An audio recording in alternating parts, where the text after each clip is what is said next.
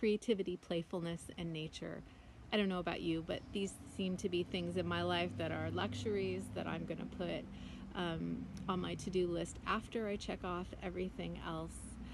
And yet, really, when I was a kid, this was how I spent most of my time. I love to spend time coloring or imagining or singing or riding. I love to ride my bike through the neighborhood and feel the wind whipping through my hair, which those of us who grew up before bike helmets can remember.